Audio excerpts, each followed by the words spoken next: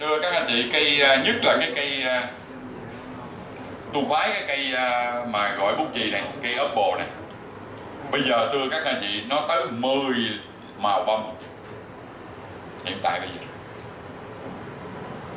Mà đẹp lắm. Các anh chị ngó thẳng vô trong cái cái cái bông của nó, y như hình trái táo. Ở trên cái cái cái cái đại chót ở trên, giống như cái cuốn cong vậy. Hai bên nó có hai cái cuốn lá. Ở dưới cái vái của nó nó phình ra và nó khép vô dưới vậy nó phình ra, y như trái táo luôn. Không biết quy có cái bông nào sẵn và y như trái táo. Và ở trên đó nó điểm một cái bông vàng viền trắng ở chính giữa, đốm đốm đốm đốm đỏ. Đẹp lắm. Là các anh chị trồng các anh chị ờ, nếu mà các anh chị kinh doanh á, các anh chị đừng trồng chậu lớn quá. Trồng chậu nhỏ thôi, cái chậu mà khoảng chừng 6 phân thôi. Đó này chừng ờ, nay mai nó chừng ba cây thôi, ba cây nó khủng lắm sáu dòi bông.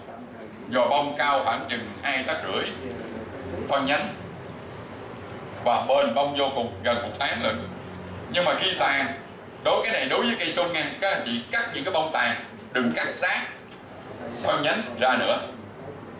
Riêng cái loại này. Ra bông nữa. Ra bông nữa. Chứ khoan cắt sát nha.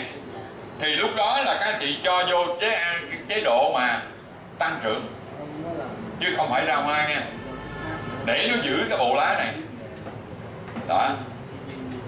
Rồi nó ra một, hai lần nữa, rồi khi đó các anh chị cắt xác. Bây giờ hết, còn chỗ cắt rồi. Cắt xác, thì nó đâm con mới.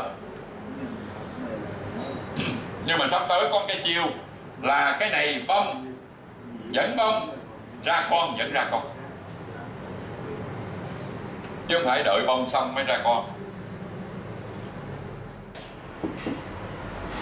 tất nhiên là vừa làm bông ở trên ra bông ở dưới ra rễ nè. Cái thằng này các anh chị không dùng để ra rễ, mà dùng để là ra rễ là cái thằng super B1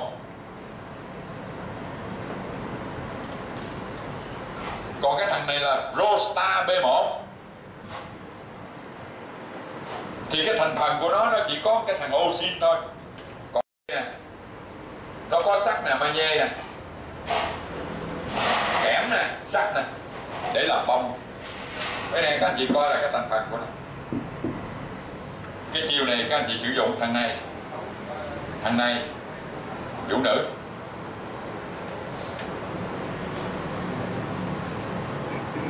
Rồi từ nay coi cái cành hoa, bởi vì cái cây mà khi các anh chị ra bông tàn bông rồi cây hỏng si bị rễ nó ra rồi. Nó ra trước đó khi bông tàn.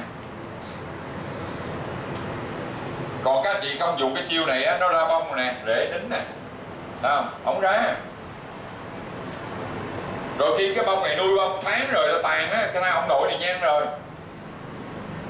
Rồi các chị có kích cách mấy ờ, tuần, hai tuần nó mới ra rễ. Ra rễ xong nó mới đâm mầm. Chị nó kéo dài mình hết tháng, đúng không? Còn bây giờ, bởi vì con này khi mà bông rồi cái cây nó vẫn tiếp tục thằng con vẫn lớn hơn mẹ. Tại vì khi cây mang bông ở dưới này có rễ rồi, thì khi đó cái bông các anh chị nó to hơn và nó lâu tàn hơn.